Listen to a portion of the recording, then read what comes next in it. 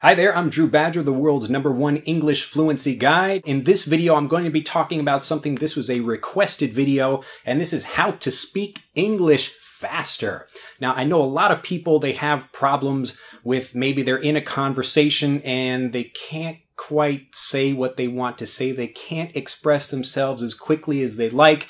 And this is because they're trying to do two things at the same time. The first one is speak, and the second one is try to think about what to say as they're speaking. It's a habit that you must develop, and you can't really do it just, you know, in a snap. We're going to, okay, magically make you speak fluent English faster, but we can give you a few tips in this video, just three simple steps that you can use uh, to practice and become a faster speaker. So let's begin. The first part of learning to speak more quickly is to learn things as phrases, and that begins by listening to people and really listening for the phrases that people have. If you're really a good student right now, I know a lot of people will probably not follow my advice about this, but if you do, you will stop this video or even go back and watch it after you finished and just take a few minutes uh, and just take maybe one or two sentences or one or two minutes, whatever that section of the video is, but go back and then try to write down what the phrase is. So I say a couple of words and then usually there's a pause and then I say a few more words and then there's a pause like that. So instead of listening for individual words, you should be listening for where the phrase breaks are in a sentence. So in a sentence, in a sentence, in a sentence is one thing and you can hear how it blends. I don't say in a sentence. I say in a sentence, in a sentence, in a sentence. So in a sentence, that phrase, it's almost like a whole word by itself. And all of these phrases we put together in sentences. And I know these are, it's kind of a, a, lengthy explanation, but the important thing to remember about this is that it's the phrases itself that you need to master in order to be able to speak more quickly. Now, the second part of this connected with being able to listen and then using things, remembering things as phrases is when you're focusing on your blending of the sounds because the blending happens uh, in the phrase itself just like in a sentence, I'm blending it to in a sentence. In a sentence. So in a sentence becomes in a sentence. In a sentence. There's the internal blending, and then there's the blending that connects maybe one phrase with another. So one phrase with another one phrase with another, phrase with another. Now, I don't want to spend too much time on this because there are really a lot of things that we could go into about specific sound blending. These are the kinds of things that we go much deeper into in Master English Conversation and the Fluency course using the Fluency Bridge learning system, but these are again uh, the kinds of things that you should be listening for. So number one, listen for things as phrases. Go back and just use this video. What am I saying that's a phrase, and what am I saying that's maybe an individual word? So even something like individual word, I'm blending that together. Individual word, individual word, individual word.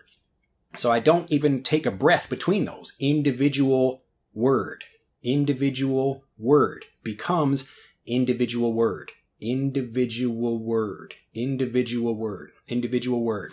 So I'm not even saying individual. I don't want to overpronounce it because I want to connect it to the other thing. I want to connect individual and word. Again, I don't want to give you too much information about this, but the point is that if you can one, master things with phrases, and then number two, you're learning to connect and to blend these things, and you do this by listening to native speakers. So be listening again, go back and listen to me again in this video, or listen to other native speakers and how they pronounce things. I'm trying to speak a bit more quickly in this video so that you can listen for this. Where are the breaks in the sentence and how do those blend together? The final piece of the puzzle is to practice. This is step three. You have to go back and take maybe a uh, one phrase like in a sentence and review that until you can say it flawlessly and blend it just like a native speaker. And also how you can use it without thinking. So in a sentence, in a sentence, in a sentence, in a sentence, in a sentence, in a sentence.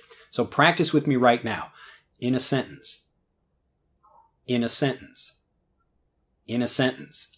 In a sentence. In a sentence. Once you've done that, you can maybe add a little bit of something else. So I was reading in a sentence. I was reading in a sentence. I was reading in a sentence. Now we're taking these two things, I was reading, and then in a sentence, but we blend them together.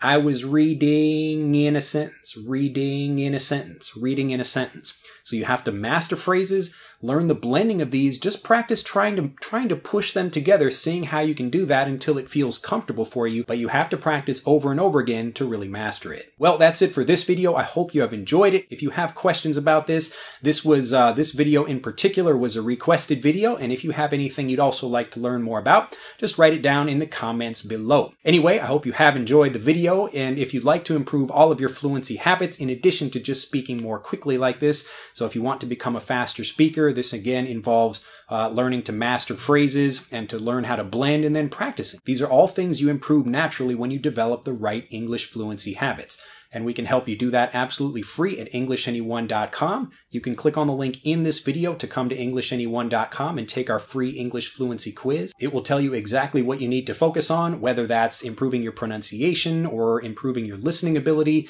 All of these things we can help you with, again, absolutely free. Just click on the link in this video to take our quick free English fluency quiz, and I look forward to seeing you in the next video. Bye bye.